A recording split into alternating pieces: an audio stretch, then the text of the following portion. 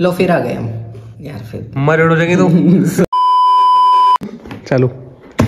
हम्म, तो फिर आ गए हम। वैसे तो मैं कोई ना कोई बहाना ढूंढ लेता हूँ बार बार आपके सामने आने का।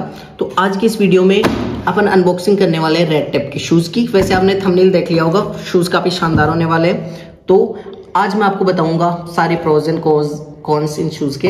तो बिना टाइम वेस्ट किए हुए इंट्रो में चलिए वीडियो शुरू करते हैं। तो सबसे पहले इनकी अनबॉक्सिंग करते हैं। बॉक्स बता देता हूँ। बॉक्स काफ़ी नॉर्मल सा बॉक्स है। ऊपर रेड टैप की ब्रांडिंग दी हुई है। और साइड में प्राइस वगैरह दी हुई है तो मैं एक बार बता देता हूँ इन्होंने क्या प्राइस दे रखी है। तो प्राइस इन्होंने वैसे तो पाँच हज़ार आठ सौ निन्यानवे रुपये दे रखी है, लेकिन घबराने की कोई ज़रूरत नहीं है, आपको इतने पे नहीं करने। कलर मैं आपको बता देता हूँ एक बार ब्लू एंड ग्रे कलर में ये वाले शूज़ मैंने मंगवाए। तो वैसे तो ये शूज़ वैसे प्राइस मैं लास्ट में रिवील करूँगा तो अभी नहीं बता रहा हूँ। तो सारी चीज़ें देखने के लिए वीडियो के एंड तक बने रहिएगा। तो सिंपल सी ये फोल्ड ये फॉइल जैसा कुछ है इसके अंदर। ये आते हैं अपने ओरिजिनल शूज़ तो शूज़ की लुकिंग की बात करें तो एक बार देख लो चारों तरफ़ से। शूज़ की लुकिंग काफ़ी बढ़िया होने वाली है। तो ये तो होगी लुकिंग की बात। दोनों शूज़ सेम ही है। एक को साइड में रखते हैं डिब्बा साइड में रखते हैं। और अब एक एक करके मैं आपको सारी डिटेल्स बताता हूँ शूज़ की। तो बेसिकली शूज़ है वाइट है ग्रे है और हल्का सा ब्लू कलर वाला जो टोन है, उसमें ये तीन कलर में मिलता है। बेस कलर इसका वाइट ही है, बाकी ब्लू और ग्रे का मिक्सचर है। फैब्रिक की इसकी बात करूँ तो लेदर का फैब्रिक है तो कुछ तो शाइनी लेदर है, कुछ जो टेक्सचर वाला लेदर है उसमें है कुछ रबर है। तो काफ़ी कुछ मिक्सिंग सा ही है फैब्रिक पूरा इसका। तो शुरू करते हैं आप सबसे नीचे से। इसका जो आउटर सोल है, वो ब्लू कलर का ही मतलब ग्रे कलर का ही है। ग्रे ही है ना ये? कोई बात नहीं बीच बीच में हँसी मज़ाक चलता रहता है, कोई दिक्कत वाली बात नहीं है। ये ब्लू स्टोन है, ये आउटर सोल आपका ब्लू कलर में मिलेगा। नीचे काफ़ी मज़बूत है, वो मतलब दबने वाला तो बिल्कुल भी नहीं है। दबता भी, इतना हार्ड है ना ये तो। चलता फिरता हथियार लेके घूम हो गया आप अगर ये वाले शूज़ पहन रहे हो तो। किसी को पड़ गई ना तो वो तो गया। और जो मिड सोल है ना वाइट कलर का है, और इस पे साइड में तो बिल्कुल प्लेन है, और ये वाली जो है स्ट्रिप्स वगैरह बनी हुई है। तो काफ़ी डिटेलिंग दी हुई है इस पे और डॉट्स बने हुए हैं कुछ। पीछे इस पे जो है, कुछ लाइन्स है और फिर रेड टेप की ब्रांडिंग है। बिल्कुल एकदम ऐसे नेम प्लेट की तरह ही। इस अंदर की साइड भी देखोगे तो वही सेम पैटर्न है। इधर बिल्कुल प्लेन है, फिर बाद में इधर स्ट्रिप्स और इन पे डॉट्स वगैरह कुछ दिए हुए हैं इधर। और सामने की साइड कुछ क्रिस क्रॉस जैसा लुक आ रहा है देखने में इनको, और वही इन पे डॉट्स वगैरह बने हुए हैं, स्ट्रिप टाइप की डिज़ाइन दी हुई है। ऊपर वाला फैब्रिक, जैसे कि मैंने आपको बताया था, लेदर वाले फैब्रिक में तो ये आपको सबसे ऊपर तो व्हाइट लेदर में मिल जाएगा व्हाइट कलर के में। और प्लेन है ये शाइनी वाला लेदर और अंदर इसके कुछ होल्स है एयर वगैरह के लिए। और ये जो साइड वाला है, ये थोड़ा टेक्सचर वाला लेदर है तो ये भी काफ़ी बढ़िया इसमें शाइनी वाला नहीं है टेक्सचर वाला लेदर है और ये ग्रे कलर में अपना। अब साइड से भी बात करें तो एक तो ये आ गई पट्टी इधर, बाकी नॉर्मल वो शाइनी वाला लेदर आ गया। फिर ये पीछे ब्लू वाली डिटेलिंग और इधर रेड टैप का, फिर साइड में लोगो आ गया। रेड टैप की ब्रांडिंग आ गई यहाँ तो और यहाँ सेम उसी ब्लू कलर में आ गई रेड टैप का लोगो आ गया। अंदर की साइड लोगो इस पे है, ये वाली पे। जो स्ट्रिप है ब्लू कलर की, और बाहर की साइड ये आपका लोगो जो कि ये वाला लोगो है, काफ़ी बढ़िया लुक देगा आपको। अंदर की साइड इसकी ज़रूरत भी नहीं है वैसे, बाहर ही ये लोगो दिखेगा, काफ़ी बढ़िया, एकदम शानदार, और एक पीछे फिर नाम जो आ जाता है ब्रांडिंग आ जाती है। काफ़ी बढ़िया है। अंदर जो इसका लेस का फैब्रिक ठीक है। लेस पे भी लास्ट में आएँगे अपन बाद में। और इसकी जो टंग है, उसका मैश फैब्रिक है। तो वो भी ठीक है अच्छा है, काफ़ी ड्यूरेबल भी है और सही है। फैब्रिक की बात हो गई, सारा फैब्रिक ठीक है एकदम। अब बात करते हैं इसकी ड्यूरेबिलिटी की। जल्दी जल्दी वीडियो ख़त्म करना, आपको ज़्यादा पकाऊँगा नहीं वैसे मैं। तो ड्यूरेबिलिटी के बारे में अगर मैं बात करूँ ना तो इसको मैं किधर भी, कैसे भी मूव करूँ, इधर भी, हाथ से तो ये बिल्कुल भी हिलता भी नहीं है, सोल इतना मज़बूत है ना, और लिटरली इतना मोटा सोल है इसका। तो इतना हार्ड और इतना मोटा सोल है ना तो इसमें तो मतलब थोड़ा वेट भी एक्स्ट्रा ऐड हो जाता है और थोड़ा हैवी भी हो जाता है शूज़ दिखने में भी काफ़ी बल्कि हो जाता है स्टाइलिश भी लगता है। ऐसा नहीं है कि सबको ये चीज़ पसंद नहीं आती। काफ़ी लोगों को ये वाली चीज़ ही पसंद आती है। हेवी सोल हो गया, फिर ऊपर ये डिज़ाइन तो दिखने में काफ़ी बल्कि सा और एकदम हेवी सा लुक आता है। ये देखो साइड से। तो ये चीज़ एक्स्ट्रा इसमें ऐड करती है लुक तो काफ़ी बढ़िया उभर के आता है लुक इसकी वजह से। बाकी ये हार्ड होने की वजह से आपको कुछ अनकंफर्ट भी फील हो सकता है। मतलब उसके लिए मैं आपको आगे बताऊँगा। वो सारी चीज़ें कंफर्टेबल वगैरह, वो आपको मैं लास्ट में बता दूँगा प्रोज एंड कॉन्स में। तो आप वहाँ से समझ लेना। तो ले, इसका सोल तो है काफ़ी हैवी है, बिल्कुल भी मुड़ता नहीं है। इसकी वजह से आपको फ़ायदा ये भी हो सकता है कि यहाँ पे है ना, जो लाइंस आ जाती है ना बाद में, ये मुड़ मुड़ के यहाँ से तो ये अगर मुड़ेगा नहीं ना तो यहाँ पे लाइंस बिल्कुल भी नहीं आएगी। तो एक तो इसका ये फ़ायदा है। लुक में भी ये काफ़ी ज़्यादा मतलब ऐड कर रहा है, बढ़िया। अब इसकी बात करते हैं पेस्टिंग की। पेस्टिंग के मामले में तो शूज़ मुझे एक नंबर लगे। सच में मतलब काफ़ी सारे आप नॉर्मल ब्रांड के शूज़ देखते हैं ना, उनमें पेस्टिंग की दिक्कत मतलब दिखती भी है, कहीं ग्लू लगा हुआ भी दिखता है, लेकिन आप थोड़ा ब्रांड की तरफ़ जाते हो तो ये आपको थोड़ा फ़ायदा मिल जाता है। आप पास आके मैं आपको दिखाऊँ तो चारों तरफ़ से बिल्कुल एकदम दबा के भी देखोगे ना कहीं पे हवा जितना भी स्पेस नहीं दिख रहा, बिल्कुल ऐसे लग रहा है कि एक ही ये सोल और ये ऊपर का पार्ट है ना, वो सेम ही है बिल्कुल अलग अलग जैसे बाद में पेस्ट करा हुआ हो, ऐसा कुछ भी नहीं लगता।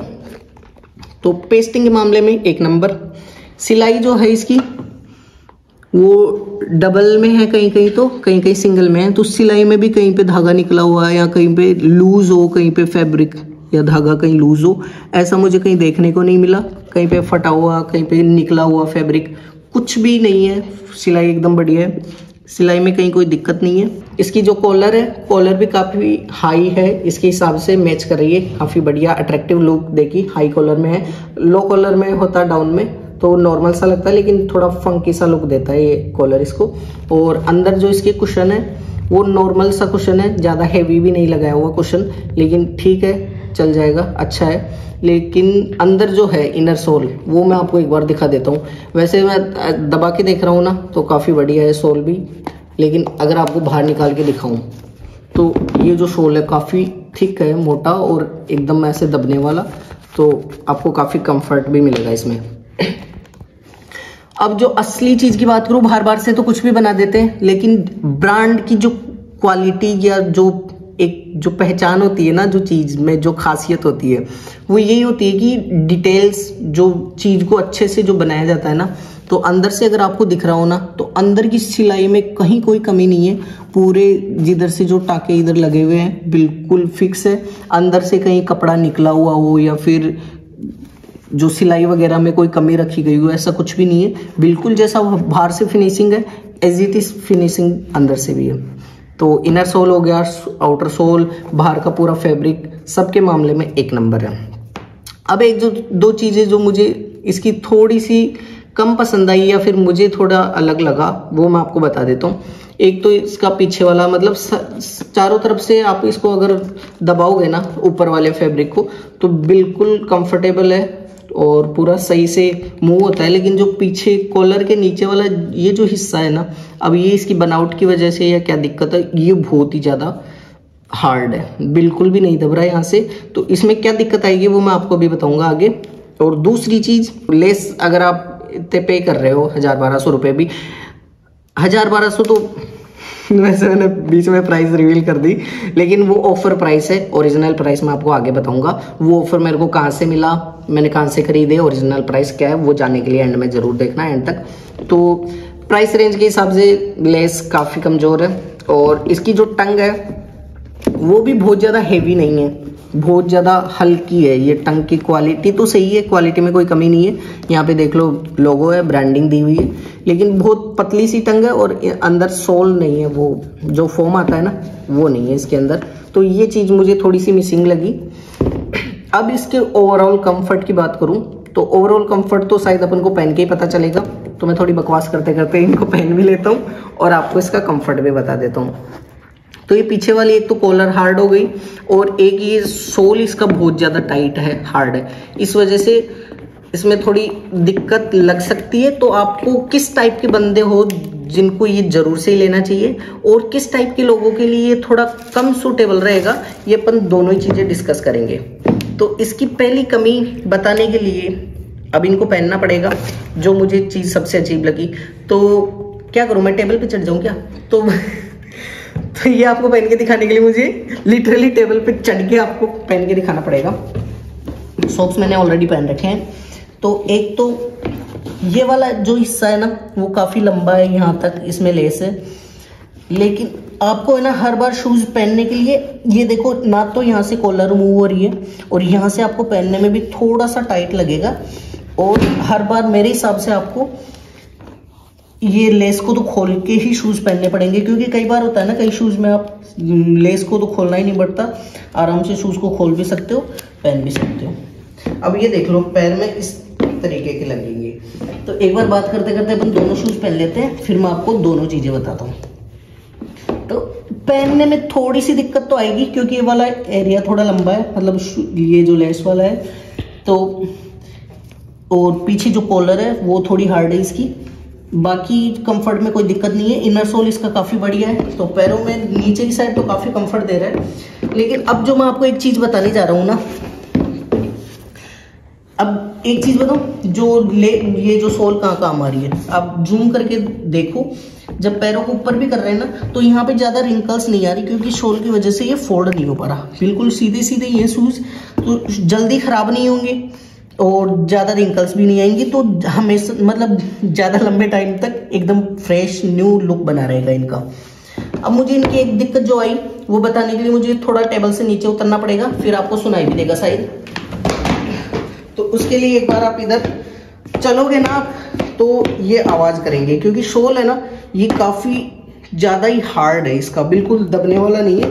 तो आप चलोगे तो आपको थोड़ी शूज़ में आवाज़ ज़रूर आएगी, जो आपको हो सकता है आपको अनोइंग अनोइंग लगे खुद को। और इसके बाद वैसे मैं टेबल पे चढ़ गया, आपको पता नहीं कैसा लग रहा होगा देखने में तो। और दूसरी चीज़ जो है वो कंफर्ट इस सोल की वजह से ही है। ये दिखने में भी अट्रैक्टिव बनाता है, लेकिन थोड़ा कंफर्ट इशू भी आ जाता है। क्या ये पैर के साथ आपके अलाइन नहीं होंगे? जैसे आप पैर उठाओगे तो कई शूज़ होते हैं, वो बिल्कुल उसी हिसाब से शोल उनका मुड़ जाता है, ढल जाते हैं तो पैर में कंफर्टेबल से लगते हैं। लेकिन ये आपको, क्या है सीधा रहेगा ना शोल बिल्कुल ही? तो थोड़े कंफर्टेबल नहीं लगेंगे तो आपको थोड़ा डिस्कम्फर्ट हो सकता है इस मामले में। तो ये हमने इसके सारे प्रोज एंड कौन सा आपको बता दिए क्या क्या कमियाँ हैं क्या क्या अच्छाइयाँ हैं क्या क्या बुराइयाँ हैं। अब एक बार मैं इसकी नहीं हूँ, थोड़ा मतलब पतला सा ही, अब तो थोड़ा वेट बढ़ गया, लेकिन मेरे को भी ज़्यादा बल्कि या हैवी नहीं लग रहे लुक के मामले में। तो मैं आपको लास्ट में बता देता हूँ कि किन किन को तो ये शूज़ लेने चाहिए और किन किन को नहीं लेने चाहिए। तो अगर आप एक मतलब आपको एक फंकी सा लुक चाहिए बेसिक सा। आपको ज़्यादा फंकी शूज़ अच्छे लगते हैं और बल्कि साइड में जाना पसंद करते हो आप तो आप ये शूज़ ले सकते हो ज़रूर से। लेकिन आप ये चाहिए कि आपको डेली वेयर टाइप से कैजुअल वेयर टाइप में आपको एक कंफर्टेबल से शूज़ जो ज़्यादा ना तो ज़्यादा हेवी हो और पैरों में भी थोड़ा कंफर्टेबल फील हो और थोड़ा अनोइंग भी नहीं लगे, क्योंकि इनमें मेरे को लगता है कि ये लास्ट तक जब तक चलेंगे ना शूज़ तो ये आवाज़ तो हमेशा ही करेंगे, क्योंकि शोल इनका काफ़ी हार्ड है। बाकी कोई दिक्कत आने वाली नहीं है शूज़ एक नंबर है शूज़ में कोई दिक्कत है नहीं। कंफर्ट के मामले में बढ़िया है।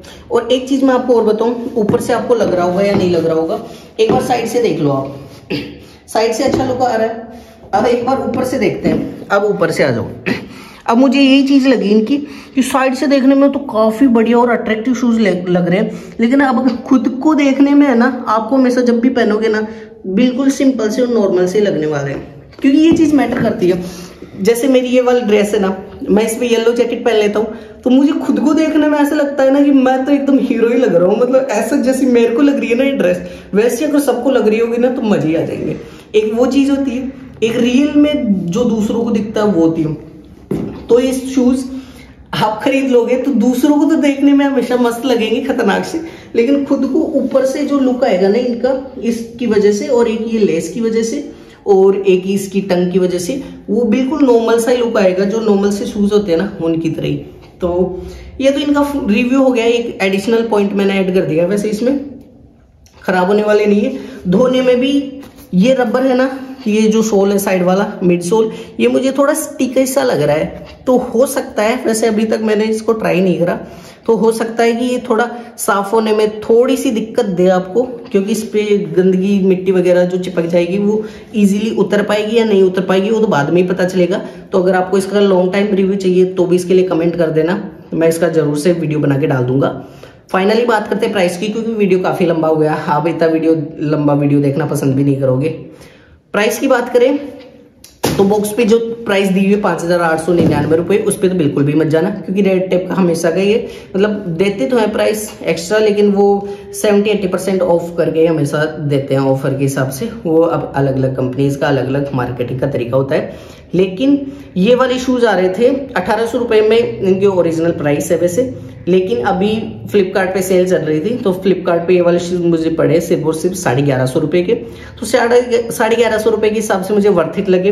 काफ़ी अट्रैक्टिव है, काफ़ी बल्कि से हैवी से शूज़ है, देखने में मस्त लगते हैं। और मस्त लगने के साथ साथ ही सबसे बढ़िया बात यह है पेस्टिंग बढ़िया है क्वालिटी ऑल ओवर बढ़िया है, सिलाई इनकी बढ़िया है फैब्रिक बढ़िया है, जल्दी रिंकल्स भी नहीं आएगी। तो एकदम हमेशा नए नए से बने रहेंगे। तो ये था आज का हमारा रिव्यू आपको सस्ते शूज़ चाहिए, बिल्कुल दो तीन सौ रुपए में तो इधर किधर आई बटन में मैं वीडियो डाल दूँगा, काफ़ी बढ़िया है भाई, एक साल हो गया मेरे को उनको लिए हुए। आज तक वो येलो नहीं हुए, इनका नहीं पता, इनको तो अभी यूज़ करेंगे तो ही पता चलेगा। एक साल में बिल्कुल भी पीले नहीं हुए, जब भी धोता हूँ, बिल्कुल नए हो जाते हैं। वीडियो देख लेना, अगर वो भी चाहिए, कहा मिलेंगे, वो भी बता रखा है, वो भी देख लेना। और उसमें एक दो चीज़ें और मेंशन कर रखी है मैंने, एक ब्लैक कलर की टी शर्ट थी, एक ये वाली टी शर्ट थी। तो अगर आप जयपुर में कहीं आसपास रहते हो आपको ये जानना है कि ये कहाँ से खरीदी मैंने, आपको भी खरीदनी है। इनका फैब्रिक बढ़िया है कमेंट कर देना, उस पर वीडियो बना दूँगा। ये था आज का वीडियो हमारे रेड टेप के शूज़ का अनबॉक्सिंग एंड रिव्यू देखते रहिए, बने रहिए हमारे साथ। ऐसे ही मस्त मस्त से वीडियो लाते रहेंगे।